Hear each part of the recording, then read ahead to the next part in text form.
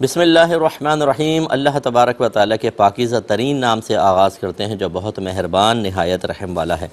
दरस बुखारी का सिलसिला जारी और सारी है और एक तवील हदीस आपकी खिदमत में ज़िक्र की थी। हदीस का नंबर है दो हज़ार चार सौ अड़सठ नंबर और जिन भाई बहनों के पिछले एपिसोड्स निकल गए हों, आपने मुलाहजा नहीं फरमाए तो आप यूट्यूब पे पहले वो सुनिएगा, फिर ये हमारा प्रोग्राम देखिएगा तो इन एक तरतीब आपको हासिल हो जाएगी। वरना बीच में बाद फिर अगर आप शामिल हुए हैं तो आपको सही हदीस पूरी समझ में नहीं आएगी। तो इसमें आखिरी उसमें हम बात कर रहे थे कि हज़रत उमर फ़ारूक़ रदी अल्लाह तहों ने बज़ाहिर नबी करीम अलैहि वसल्लम के उस हजर मुबारक में माल की कमी को देख कर अर्ज़ की कि आप दुआ कीजिए कि अल्लाह ताला उम्मत पर वसत अता फ़रमाए कि यहाँ ये मामलात हैं और आ, रूमी बा जो हैं क्रिश्चन्स हैं यहूद हैं वो तो बड़ी तरक्कीों में हैं। तो नबी करीम सल्लल्लाहु अलैहि वसल्लम ने फिर यही जवाब दिया कि दुनिया उनके लिए है, हमारे लिए आखरत है। अपने दीन के मामले में बिल्कुल कुछ शक में ना रहो।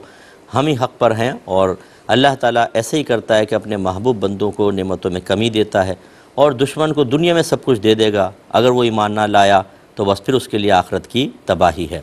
इससे ज़रा हमारे भाई बहन दर्स हासिल करें। जैसे मैंने पहले कहा था कि अगर आपके बच्चे कभी ऐसा आपको नज़र आए कि गैर मुसलिमीन की बहुत ही तारीफ़ कर रहे हों कि यार कैसे वो तरक्की कर रहे हैं, देखें उनमें कैसा है। तो ज़रा डरें। ऐसा तो नहीं कि खुदा न खास्ता, खुदा न खास्ता शैतान उनके दिल में मुसलमान होने इस्लाम की हकारत पैदा कर दे। यही दिल में ख्याल आ जाए, यार हम यहाँ क्यों पैदा हो गए, वहाँ पैदा होते। मुसलमान क्यों हो गए, फुला होते। अगर खुदा न खास्ता ऐसा हुआ तो ईमान के जवाल का अंदेशा है। बच्चे मुर्तद इसी वजह से होते हैं। जो बाहर के दुनिया के अंदर बहुत सारे माँ बाप जो मुसलमान हैं जो इन, इन, इन, हिंदुस्तान से पाकिस्तान से यानी एशिया की तरफ़ से हिजरत करके वहाँ गए फिर वहीं उनके बच्चे पैदा हुए। ना उनकी रूहानी तरबियत कर सके ना उनकी इस्लामी तरबियत कर सके। आसाइशें हासिल करने के शौक़ और ज़ौक़ ने और वहाँ की नेमतों को हासिल करने के चक्कर में उन्होंने अपनी औलाद के ईमानों को ख़तरे में डाल दिया। और फिर ऐसे ही हुआ। बहुत सारे वालदेन क्योंकि मेरा तो रबता रहता है। लोग अपनी प्रॉब्लम्स शेयर्स करते हैं शेयर करते हैं। कितने ही अब बच्चे हैं जो गैर मुस्लिम हो गए। वो क्यों? इस्लाम की अहमियत कभी हमने पैदा नहीं होने दी, आखरत की सही फ़िक्र हमने डाली नहीं, आखरत के इनामात का यकीन नहीं दिलाया, अजाबात का हमने एहसास नहीं दिलाया। उन्होंने मुवजना किया कि यार हम मुसलमान पिस रहे हैं हर जगह, हम पीछे हैं, ये लोग आगे हैं तो बस ये अच्छे होंगे तभी तो अल्लाह की इन पर करम नवाजी है। उधर वो चले गए। ये चीज़ें उनको समझानी चाहिए थी, अल्लाह ताला महफूज रखे हम सब बच्चों के, हमारे बच्चों के ईमानों को। इसके बाद मैंने, वो कहते हैं कि मैंने अर्ज़ किया मेरे लिए मगफ़रत तलब कीजिए। बस हज़रत हफ्सा ने आपके राज की बात हज़रत आयशा को बता दी थी। यानी ये तो मगफ़रत का कहा, अब ये रावी कह रहे हैं कि हज़रत हफ्सा ने आपके, यानी नबी करीम सल्लल्लाहु अलैहि वसल्लम के राज की बात हज़रत आयशा को बता दी थी। इस वजह से नबी करीम सल्लल्लाहु अलैहि वसल्लम अपनी अजवाज से अलहदा होकर बाला खाने में रहने लगे थे। वो क्यों, क्या बात थी, वो बताता हूँ मैं, कुछ वजूहत बयान की हैं। शारहन ने पाँच छः वजूहत हैं, वो मैं ज़िक्र करता हूँ। उनमें से कोई एक वजह थी। बस खुलासा ये है कि सरकार अजवाज से नाराज़ होकर और आपने कसम खाई थी कि एक महीने तक मैं करीब नहीं आऊँगा, इनसे नहीं मिलूँगा और आप चले गए थे। तो ये ज़रा समझ लीजिएगा कि जो बीवी से दूर होने की कसम खाए, उसको ईला कहते हैं। बीवी से दूर हो जाना कसम खा के ईला कहलाता है, शर्य अतलाह में। लेकिन एक ईला शराई होता है और एक ईलाए लघवी होता है। ईला लघवी का मतलब तो ये लगत में ईला का माना ही देखेंगे कि बीवी से दूर होने की कसम खा लेना, ये ईला लघवी कहलाता है। लेकिन ईला शराई उस वक्त बनता है कि जब इंसान कम अज़ कम ये कसम खा ले कि मैं चार माह तक अपनी जोजा के करीब नहीं आऊँगा, यानी जिसमानी ताल्लुक़ कायम नहीं करूँगा, कसम खा ले। चार माह कम अज़ कम, और हमेशा के हो सकता है, कभी करीब नहीं आऊँगा, कभी तुमसे जिसमानी ताल्लुक़ कायम नहीं करूँगा। अगर इस तरह कसम खा लेता है, इसको कहते हैं ईलाए शराई। अगर ये चार माह के अंदर अंदर जिसमानी ताल्लुक़ कायम कर लेता है तो कसम टूट गई, उसका कफ़ारा अदा करना चाहिए और तोड़ी देनी चाहिए कसम जब इस किस्म के मामलात हो जाएँ। और अगर चार माह गुजर गए तो तलाक़ वाक़ हो जाती है। इसको कहते हैं ईलाए शराई। इससे भी पता चला, बाज़ लोग कहते हैं कि जी, बाज़ लोग अपनी बीवियों से नौकरी करने के चक्कर में गए हैं बाहर तो पाँच साल हो गए दूर हैं तो क्या निकाह बाकी रहा? वो भाई, सौ साल दूर रहें, इससे निकाह पे फ़र्क नहीं पड़ेगा। ये तो तब होता है जब इंसान कम अज़ कम चार माह दूर रहने की कसम खा लेता है। तो उस वजह से अगर चार माह के अंदर अंदर मिलेगा तो कसम तोड़ देगा, कफ़ारा दे और अगर नहीं करता तो फिर ये ईला काम करेगा। तो इसका मतलब ये हुआ कि ईलाए शरई में जो मुद्दत है वो कम अज़ कम चार माह की हुई। तो ईलाए लघवी के अंदर सिर्फ़ दूर रहने का कहा है, वो ईला शरई नहीं है, क्योंकि उसमें चार माह की मुद्दत ही ज़िक्र नहीं की है। ना हमेशा का लफ्ज़ कहा है। बस वो तो सरकार ने एक महीने का ज़िक्र किया था, ख़ास ज़िक्र कर दिया। इसका मतलब है ना चार माह, ना उससे ज़्यादा। तो जब उससे कम हुए तो ये हकीकता वो ईला शरई नहीं था, बल्कि लगत में जिसको ईला कहते हैं वो था। तो नबी करीम सल्लल्लाहु अलैहि वसल्लम एक महीने तक हुजरे में रहे, उनतीस दिन तक। फिर चले गए सईद आयशा के पास। तो उन्होंने अरसियासल्ला अभी तो महीना पूरा नहीं हुआ। आपने महीने का कहा था, अभी उनतीस हुए हैं दिन।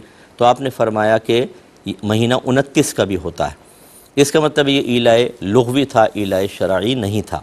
तो जितने भाई हमें सुन रहे हैं, अगर कोई ऐसा है शोहर, या मेरी बहन सुन रही हो, आपके शोहर ने कभी ऐसी कसम खाई हो कि खुदा की कसम, अब तो तेरे करीब ही नहीं आऊँगा मैं। या कम अज़ कम चार माह का कहा हो तो समझ लें ये ईला शराई था। अगर चार माह के अंदर अंदर जिसमानी ताल्लुक़ कायम हो जाता है तो कसम टूटी थी, उसका कफ़ारा देना था। और अगर नाराज़गी, इस तरह कसम खाने के बाद नाराज़गी फ़ोर मंथ्स को क्रॉस कर गई थी तो तलाक़ वाक़ हो जाती है और इसके बाद जदीद निकाह करना था।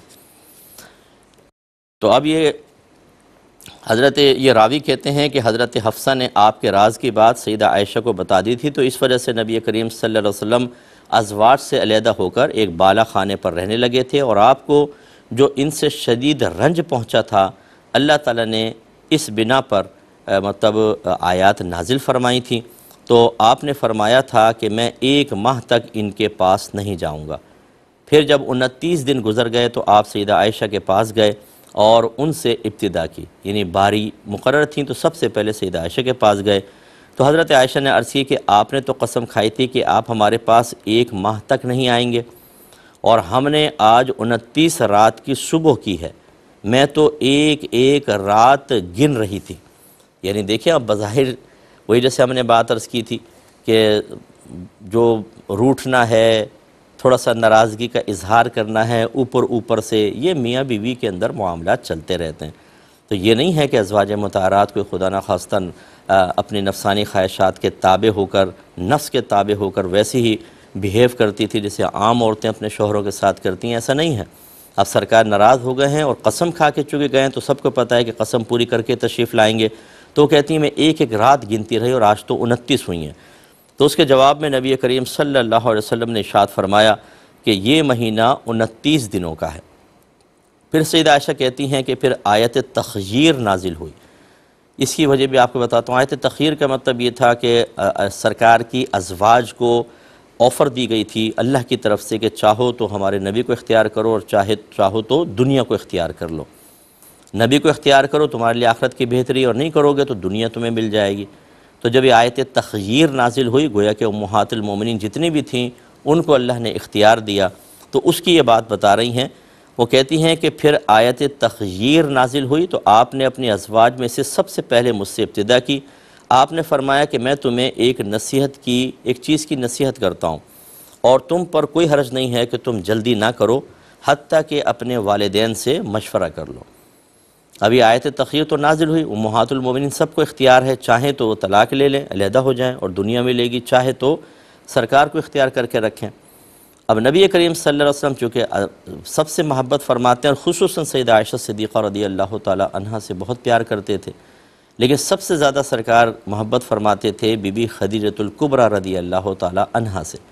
और जब तक आप आ, आपके अक़द में रही हैं आपने दूसरा निकाह नहीं फरमाया। उनके बाद सबसे ज़्यादा मोहब्बत सईद आयशा से थी।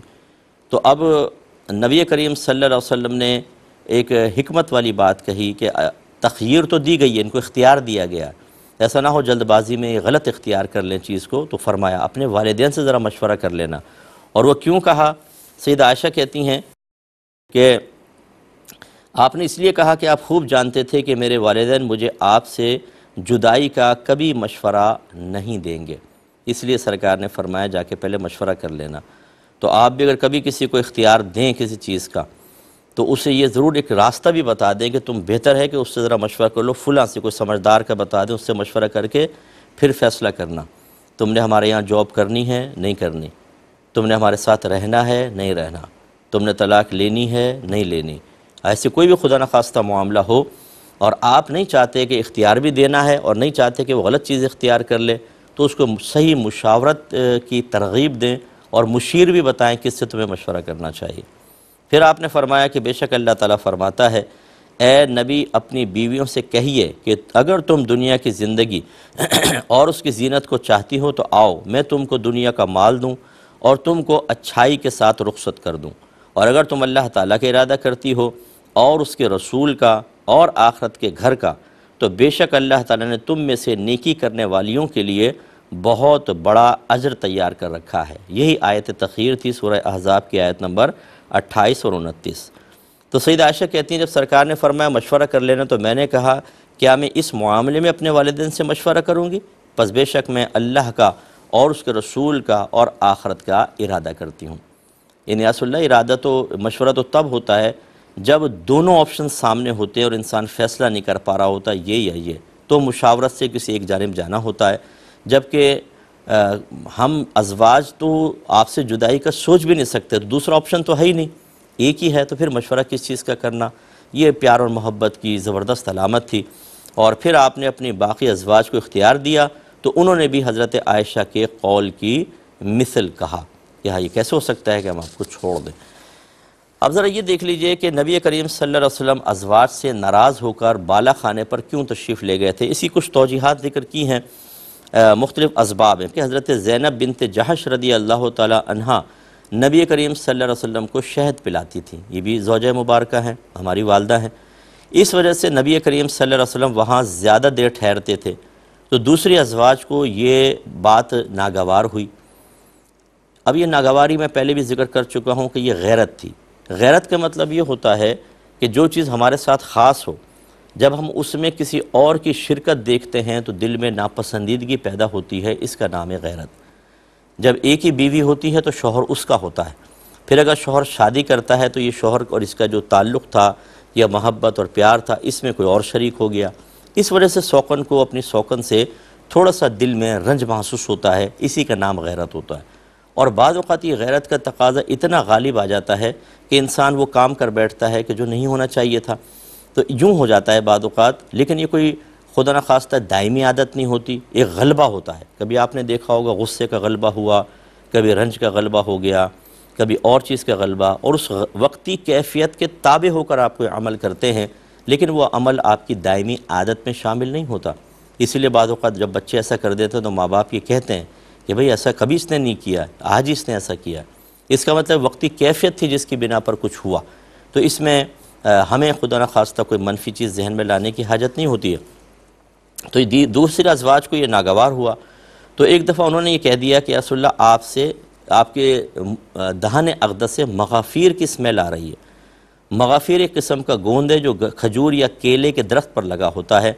और नबी करीम अलैहि वसल्लम उसकी स्मेल को नापसंद फरमाया करते थे। तो गोया के कहने का मतलब ये था, अजवाज का कि वहाँ की शहद की मक्खियों ने वहाँ का कुछ लिया है गोंद से हिस्सा, और वो शहद में डाला है, और आपने वही शहद पिया तो मगाफिर की स्मेल आ रही है? इस पर सरकार ने फरमाया कि मैंने मगाफिर नहीं खाया, जैनब बिन जहाश के यहाँ शहद पिया है। अगर तुमको मेरा वहाँ जाना नागवार है तो मैं अपने ऊपर शहद को हराम कर लेता हूँ। और इस पर यह आयत नाजिल हुई कि नबी मुकर्रम, आप उस चीज़ को क्यों हराम करार दे रहे हैं, जिसको अल्लाह ताला ने आपके लिए हलाल फरमाया है? आप अपनी बीवियों की रज़ा को वक्ती तलब फरमा रहे हैं और अल्लाह ताला बहुत बख्शने वाला मेहरबान है। तो ये फिर सरकार सल्लल्लाहु अलैहि वसल्लम ने इसको ख़त्म फरमाया। तो ये भी एक वजह थी। तीसरी वजह लिखी है कि अल्लाह ताला ने आपको दुनिया के मुल्क और आखरतों, आखरत की नेमतों के दरमियान इख्तियार दिया। ये ले लें ये ये। तो नबी करीम सल्लल्लाहु अलैहि वसल्लम ने आखरत को दुनिया पर तरजीह दी। और जब आपने आखरत को इख्तियार कर लिया तो अल्लाह ताला ने आपको हुक्म दिया कि आप अपनी अजवाज को भी दुनिया और आखरत के दरमियान इख्तियार दें ताकि उनका हाल भी आपके मिसल हो जाए। तो ख़ुलास कलाम यह है कि कुछ वजूहत थी, लेकिन ऐसे मौाक़े पर हमेशा याद रखिए कि ये तो हदीस चूँकि आ गई थी तरतीब से तो आपकी खिदमत में ज़िक्र भी की, कोशिश की कि मोहतात अंदाज से ज़िक्र करें। कभी भी अपने बड़ों के बारे में कोई मनफी चीज़ अपने जहन में ना लाएँ। अगर खुदा न खास्ता उनसे कोई ऐसे मामलात आपको बज़ाहिर हदीसों में नज़र आते हैं तो गरिफ करनी होती तो अल्लाह ताला फरमाता, उसके रसूल फरमाते कि वो दीन को ज़्यादा समझते हैं। मामला नबी करीम के साथ हुआ, अल्लाह भी उनसे राज़ी, रसूल भी उनसे राज़ी। ये जहन में रखिए कि साहब कराम की शान ये है कि अभी ये पैदा भी नहीं हुए।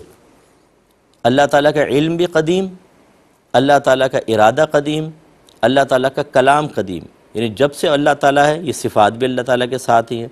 और अल्लाह कुरान में फ़रमाता है रदी अल्लाह वरदुआन यानी अल्लाह जानता है कि आगे क्या कुछ होने वाला है। साहबा पैदा होकर क्या क्या करेंगे? फिर भी पहले ही ऐलान कर दिया, अल्लाह उनसे राज़ी अल्लाह से राज़ी। इसलिए कोई नेगेटिव ख्याल कभी अपने अकाबरीन के बारे में जहन में नहीं आना चाहिए। अल्लाह ताला की तोफ़ी फ़रमाए। आमीन। व आखिर दावाना अनिलहमदिल्ला रबालमीन